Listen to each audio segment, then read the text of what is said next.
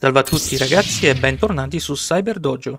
Oggi vedremo come realizzare lo schema di collegamento di un cancello automatico su Logo Soft Comfort. Iniziamo subito. Avviamo il programma, andiamo su nuovo schema o CTRL più N e aprite il vostro schema di collegamento. In questo caso, come al solito, il programma l'ho già realizzato e vi mostro lo schema di collegamento già pronto. Ovviamente tutti i blocchi e i collegamenti come al solito inseriti eh, nel link in descrizione. Cominciamo subito nel, a vedere come funziona questo tipo di programma. Questo quindi è il nostro cancello, come vedete è un normalissimo cancello a scorrimento chiuso con uh, i due sensori eh, di movimento. Come, cosa dovremmo fare per questo programma? Innanzitutto quindi cancello, siamo nella posizione di cancello chiuso. Questo cancello a un certo punto si aprirà quindi siamo in stato di apertura chiusura. E ovviamente arriva, andrà nello stato di cancello aperto. Dopodiché dallo stato di cancello aperto torna allo stato di eh, chiusura apertura e poi allo stato di cancello chiuso. Eh, ci possiamo trovare anche nel caso del, dello stato in cui si attivano i sensori di movimento perché sta passando qualcuno o qualcosa. E quindi in questo caso si attiva, siamo in fase di allarme quindi si, attiva, si riattiva l'apertura del cancello automatico per poi nuovamente richiudersi definitivamente. Quindi cosa abbiamo? cancello chiuso. Dobbiamo dare per il nostro programma un comando di apertura che permetta di aprire questo cancello e quindi passare dallo stato chiuso allo stato di cancello aperto. Mentre il cancello si apre, dato dal comando di apertura, avremo un lampeggiante che si attiva. Questo lampeggiante rimarrà attivo finché il cancello non sarà completamente aperto. In questo caso abbiamo deciso nel programma di usare un lampeggiante verde, per indicare appunto l'apertura del cancello. Quando siamo nello stato di cancello aperto, eh, se vogliamo richiuderlo basta dare semplicemente un comando di chiusura quindi per portare lo stato del cancello da cancello aperto a cancello chiuso. Stesso procedimento di prima, tempo di chiusura, questa volta abbiamo il lampeggiante rosso, che rimarrà attivo il lampeggiante finché non sarà completamente chiuso il nostro cancello. Cosa succede se si attiva il sensore di movimento? Come detto precedentemente, automaticamente si riapre il cancello e quindi siamo in fase di allarme, quindi si attiva il lampeggiante arancione. Una volta terminato la fase del, lampeggiamento arancione, il cancello sarà completamente riaperto e ritorniamo nello stato precedente. Quindi da cancello aperto vogliamo chiuderlo e quindi automaticamente cancello chiuso. Quindi quello era lo schema di funzionamento del nostro programma che è quello che eh, seguiremo esattamente nello schema di collegamento in Logo Soft Comfort. Come vedete abbiamo eh, tre ingressi eh, ingressi digitali, quindi un comando di apertura, comando di chiusura e sensore di movimento. Abbiamo vari blocchi, quelli che ci interessano maggiormente sono appunto il lampeggiante apertura con retroilluminazione, in questo caso abbiamo usato un bianco, eh, però generalmente verde, eh, il cancello, l'uscita con il cancello aperto, lampeggiante di chiusura, retroilluminazione rossa, un'uscita digitale cancello chiuso e un marker ovviamente con retroilluminazione arancione per il lampeggio dell'allarme sensore. E tra gli altri blocchi abbiamo ovviamente un, una porta OR, delle porte XOR. Abbiamo anche uno spegnimento ritardato, questo per poter eh, avviare immediatamente il lampeggiante arancione in caso di eh, allarme. Eh, stessa cosa uno spegnimento ritardato per quanto riguarda il marker sia del lampeggiante di chiusura che del lampeggiante di apertura. Dopodiché eh, abbiamo altri blocchi come il generatore di impulso asincrono per sempre i tre lampeggianti. Comunque avviamo subito la simulazione, quindi simulazione F3 e si avvia ovviamente il nostro testo di segnalazione che possiamo trovare qui in alto con un ingresso è sempre attivo doppio clic. Ovviamente da un logo TD come vedete qui segnato una priorità 0 e abbiamo inserito ovviamente anche manualmente come già visto nei video precedenti e in questo caso ciò che ci interessa segnalare quindi l'apertura del cancello la chiusura e l'allarme a movimento. Come eh, dato da inserire abbiamo usato l'uscita del blocco funzionale relativo che ci dà il segnale e naturalmente siamo andati a cercarlo. In questo caso per l'apertura del cancello è il B018 nel caso di chiusura nel caso di chiusura è il B016 nel caso di sensore di movimento è il B019 potete leggere tranquillamente qui. Diciamo ok. E quindi questo è il nostro testo di segnalazione. Per adesso lo lasciamo qui. E ovviamente vediamo di metterlo in un posto. Eccolo qua perfetto. Allora avviamo la nostra simulazione. Doppio clic. E come vedete si attiva il lampeggiante della, dell'apertura del cancello. Abbiamo messo mettiamo un attimo in pausa. E allora in questo momento si è aperto il cancello risulta aperto perché la nostra uscita è attiva. Il lampeggiante si è attivato quindi con una luce discontinua, quindi generato da questo appunto generatore di impulsi, eh, che abbiamo settato ovviamente con una lunghezza di impulsi 1 secondo, una larghezza tra impulsi sempre di un secondo. Questo generatore di impulsi si attiva quando si attiva questo spegnimento ritardato che abbiamo impostato a 10 secondi per esempio.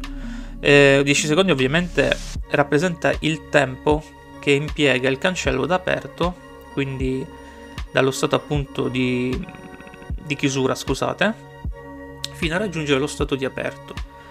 Cioè significa che è il tempo che impiega a, a partire da quando il cancello è chiuso fino a raggiungere il fine corsa della parte opposta in modo tale che il cancello si apra del tutto. Quando il cancello raggiunge il fine corsa e come viene stabilito?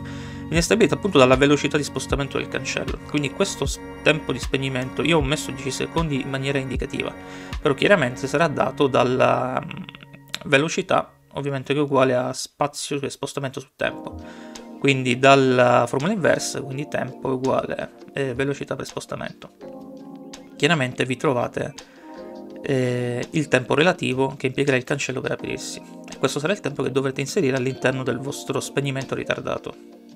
Dopodiché facciamo applica e ok. Stesso tempo ovviamente abbiamo messo nel caso del, di chiusura. Quindi questo eh, è impostato anch'esso spegnimento ritardato a 10 secondi. Per quanto riguarda invece l'apertura del cancello, cioè ovvero l'uscita che ci segnala che il cancello è aperto, abbiamo preimpostato un ritardo all'attivazione, quindi un ritardo all'attivazione con memoria, come blocco logo, sempre ovviamente con un tempo di 10 secondi pari a quello del timer dello spegnimento ritardato.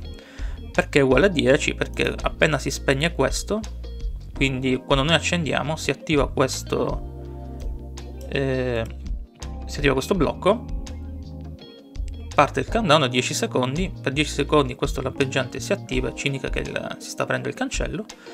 Al termine di questo, eh, di questo timer automaticamente si accende questo. Questo blocco ritardo l'attivazione si attiva insieme a questo blocco spegnimento ritardato.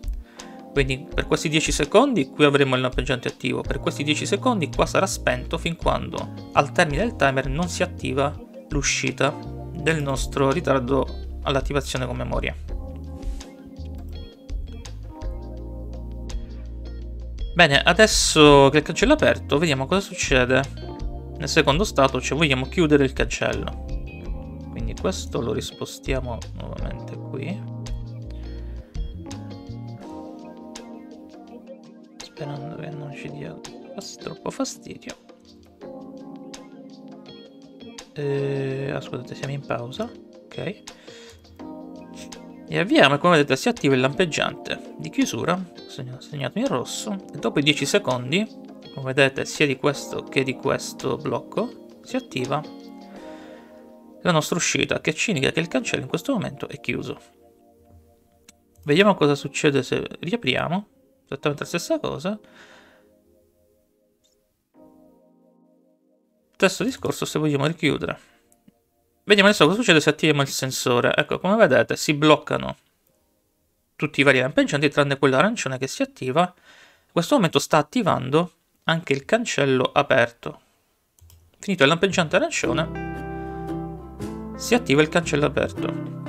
Cosa abbiamo fatto? Come visto nel, nello schema, nelle diapositive precedenti, quando si attiva il sensore in movimento si, riavvia, si deve riavviare automaticamente l'apertura del, per motivi di sicurezza del cancello. Riavviando la simulazione, si attiva il segnale sensore di movimento, metto in pausa un secondo, ecco qua, come vedete anzitutto il sensore di allarme è già arancione, quindi è attivo,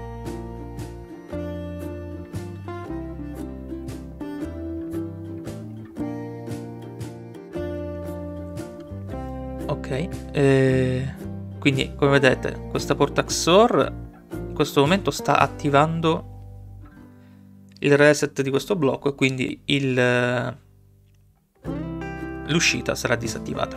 E quindi il cancello non è chiuso. A sua volta questo è attivo, questa porta XOR collegata al comando di apertura, questo è attivo, come detto il reset di questo eh, ritardo dell'attivazione con memoria, il reset è non attivo perché è collegato al comando di chiusura che in questo momento è disattivato.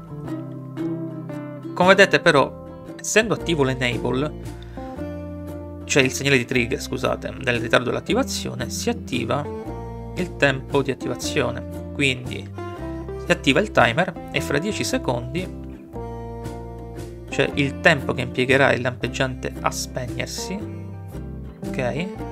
10 secondi, eccolo qua, qui in basso a sinistra. Questo cancello, questo segnale, scusate, questo segnale di uscita digitale si attiverà, e quindi starà ad indicare che il cancello sarà aperto. Riprendiamo.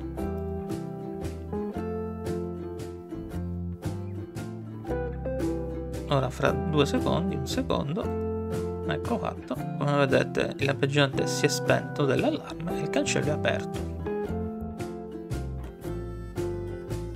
Dopodiché possiamo una volta il cancello aperto riavviare il comando dando via dando play riavviare il comando di chiusura e il cancello comincerà a chiudersi che non sarà chiuso stabilito dall'uscita cancello chiuso. Vediamo riavviare, riaprire. Ecco che riparte il, il processo di riapertura e così via.